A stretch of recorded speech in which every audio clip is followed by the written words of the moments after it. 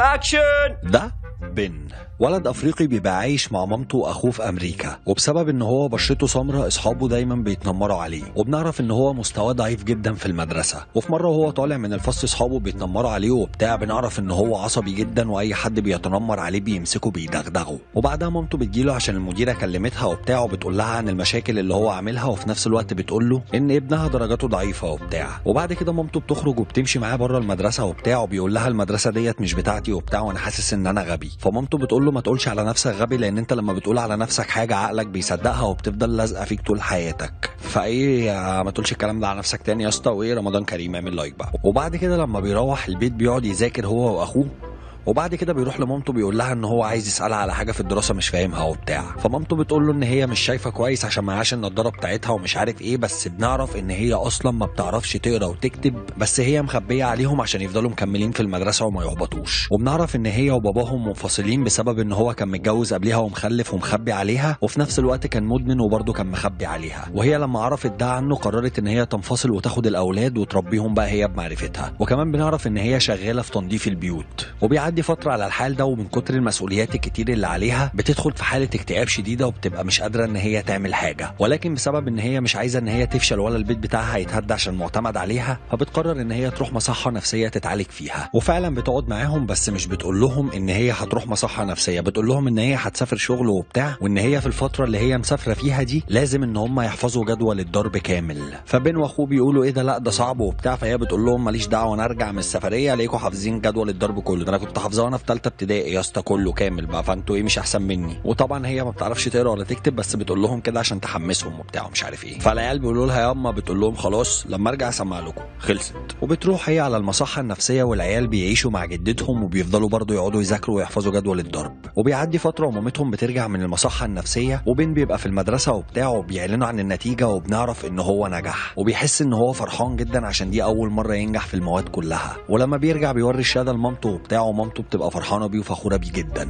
وبعدها الدنيا معاها بتبقى تمام وبتاع وبتبدأ إن هي تدور على شغل جديد. وفعلا بتلاقي شغل عند واحد والواحد دوت بنلاقي في البيت بتاعه كمية كتب كبيرة. وهي بتبقى مستغربة جدا إن في بني آدم يقدر يقرأ الكتب دي كلها. وبعد كده صاحب البيت بيدخل عليها وبيشوفها وهي مبهورة بالكتب وبتاع وبيبدأ يكلمها عن فايدة الكتب والعلماء في حياتنا. المهم إن هي بتخلص شغلها وبتروح على البيت بتبقى سخنانة بعد الكلمتين اللي سمعتهم من صاحب البيت فبتروح لعيالها وبتقول لهم أنتوا كل أسبوع كل واحد فيكم هيقرا كتابين وفي نهاية كل أسبوع بعد ما تقروا الكتابين تدوني تقرير كامل عن كل كتاب أنتوا قريتوه. فياما يهديكي يرضيكي يا ماليش دعوة هتسمعوا الكلام وده فاهم؟ هو كده اعمل لايك بقى. وفعلا بعد كده بنشوف العيال وهم بيروحوا على المكتبة وبتاع وبيبدأوا إن هم يقروا كتب.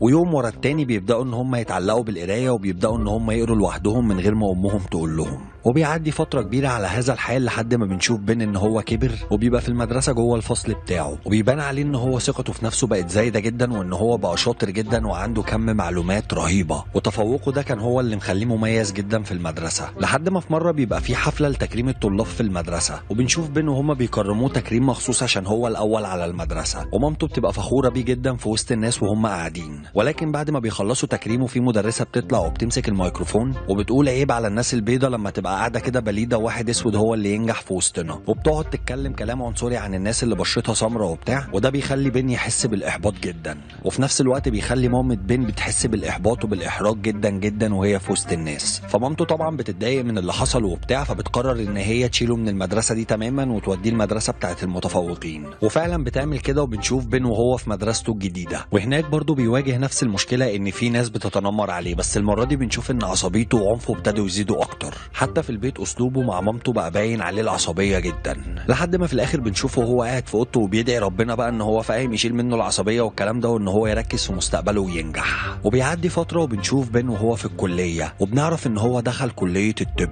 وبنشوف كمان إن هو متفوق جدا. وهناك بيعمل صحبة كده كويسة وبتاع وفي نفس الوقت بيتعرف على دي وبيبقى اسمها كاندي وبنعرف إن هو معجب بيها جدا. وبعد كده لما بيرجع البيت عنده بنشوفه وهو بيقرأ وبنعرف إن هو لسه ما بطلش عادة القراية. وبنعرف كمان إن هو بقى شخص مثقف جدا. وبيعدي فترة وبيتخرج من الكلية. وبنعرف إن هو اتخرج من قسم تشريح مخ الأطفال. وجاب تقدير عالي جدا كمان. وبيعدي فترة وبنشوفه وهو قاعد مع مدير مستشفى عشان عايز إن هو يبدأ تمرين وبتاع ويبدأ بقى حياته العملية في الطب. ومدير المستشفى لما بيقعد يتكلم معاه بيبقى معجب بشخصيته جدا وبيبقى معجب بيه كمان لأن هو مثقف جدا. وبيوافق إن هو يشتغل معاه وينزل معاه تحت التدريب. وبعد كده بنشوفه هو مع زمايله وبتاع. واحد من زمايله بيبدأ إن هو يتنمر عليه. وبيقول له إن الزنوج ما ينفعش يبقى دكاترة المفروض إن الشغلانات بتاعتكم تبقى أقل من كده بكتير. وبن بيبقى متعصب وبتاع ولكن بناخد بالنا إن هو اتعلم إن هو يكتم غضبه. وابتدى كمان إن هو يكسب كل الناس اللي في المستشفى بمعاملته الكويسة. لحد ما في مرة كان في حالة حرجة وبتاع ولازم تدخل عمليات دلوقتي. والدكتور اللي مسؤول عن الحالة ديت مش موجود وبتاع والعملية لازم تتعمل دلوقتي حالا. وكل الدكاترة بيبقوا قلقانين وبتاع لحد ما في الآخر بن بيدخل وبيخلص العملية. لحد ما في الآخر بن بيدخل وبيعمل العملية وبتنجح. وبعدها بنشوف إن هو قاعد مع مكتب المدير بعد ما خلص العملية والمدير بيبقى متضايق جدا وبتاع ومش عارف إيه بس في الآخر بيشكره وبيقول له إن هو هيتثبت معاهم في المستشفى وبتاع ومش عارف إيه. وبن بيبقى مبسوط جدا لأن هو فخور إن هو أنقذ حياة طفل وفي نفس الوقت إن هو في مستشفى كبيرة وبيتقدم في المجال اللي هو قاعد يدرس فيه طول حياته. والناس اللي في المستشفى ابتدوا إن هم يحبوه أكتر وأكتر وابتدوا كمان إن هم يحترموه ويعتمدوا عليه في كل العمليات الجراحية الخطيرة اللي بتتعمل في المستشفى. وبيعدي فترة وبنشوف بين وهو بيتقدم في المجال وفي نفس الوقت بنشوف إن هو اتشهر جدا في المجال اللي هو شغال فيه في الطب. وإن هو بيطلع مؤتمرات صحفية وبتاع والصحافة والإعلام ابتدوا يهتموا بيه. وبرضه بنشوفه في البيت إن هو لسه ما بطلش عادة القراية وإن هو كل ما بيبقى عنده وقت فراغ بيقعد يقرأ. وبنشوف إن حياته فعلا اتغيرت جدا وبقى عنده بيت ومتجوز ومخلف ولدين. وكمان بيخلي مامته تنقل وتعيش معاه. وبعد كده بنشوف مرات بين وهي تعبانة جدا وبينقلوها المستشفى. وأثناء ما هي في المستشفى هناك بنعرف إن هي كانت حامل في توأم وللأسف ماتوا في بطنها من كتر تعبها. وبين بيبقى زعلان جدا لما بيسمع الخبر ده. ولكن صدمته مش بتأثر على شغله وبيكمل شغله عادي وبيبقى بنفس الكفاءة. لحد ما في مرة المدير بتاع المستشفى بيجي له وبيقول له إن أنت هتعمل دلوقتي أخطر عملية في حياتك كلها والعملية هي إن هو هيفصل طفلين عن بعض ملتصقين من ناحية المخ في الدماغ. والعملية دي أطباء كتير جدا عملوها قبل كده وفشلت والأطفال بنسبة كبيرة بتموت أثناء العملية. وبين بيبقى متردد إن هو ياخد القرار. لحد ما بيروح البيت وبيبقى قاعد مع مامته وبتاع وبيقول لها على موضوع العملية وهي بتحمسه وبتقول له أيوه أنت لازم تعملها وبتاع. وانت تقدر تعمل اي حاجة. قال لها أيوه يعني إيه الكلام ده؟ قالت له لو وقعوك عوم لو غطسوك فوق. فاما المهم مش فاكر الأغنية والقلشه باظت. المهم نكمل. وبين بيتحمس بعد كلام مامته وبتاع وبيقرر إن هو ياخد المجازفة ويعمل العملية. ولما بيرجع للمستشفى بنشوف إن في بقى فريق أطباء كتير ومش عارف إيه وصحافة والكلام ده وبنعرف إن العملية أخدت 22 ساعة. وفي الآخر بيخلصها والعملية بتنجح وكل الناس بتبقى مستنياه بعد العملية من ضمنهم مراته ومامته. وهما الاثنين بيبصوا له بقى بيقولوا آه فخر. ما مش هينفع فخر العرب ده ده فخر فاهم؟ ده بره خالص. المهم فخر المكان اللي انت فيه وبتاع ومن هنا بقى بنعرف ان أصلا على فكرة دي قصة حقيقية والقصة دي فعلا حقيقية فاهم؟ فطبعا إيه الدنيا تمام كلنا طبعا نفسنا نبقى بين لأن فعلا إن هو دكتور من أحسن الدكاتره اللي عملت عمليات الصرع للأطفال في العالم بس هنا طبعا كلنا الحلم إن إحنا نبقى بين لكن الواقع كلها صاحبي بالجامع بقى فاهم؟ والفرق إيه بعد الفطار فاهم؟ ورضا صبري نيكوتين ما بتسالش المهم يا اسطى ما تنساش إن انت تعمل like subscribe فعل زر الجرس اتفرج على اللي فات استنى اللي جاي وانت في إيدك طبق قطايف وكنافة كده فاهم؟ أنا بسجل وأنا في رمضان وأنا صايم كمان فاهم؟ فأي يعني يعني صاحبي فاهم؟ يعني قدرني أقدرك كده فعارف انت الشغلة ماشية كده رمضان كريم الله أكرم فاهم؟ زي السكينة في الكنافة كده. كان الفيديو ده على ورقة وقلم أحمد فارس وحنجره أحمد فارس بتاع سيكولوجي بالعربي. أنا أهو. ونشوفكم في فيديو جديد. سلام.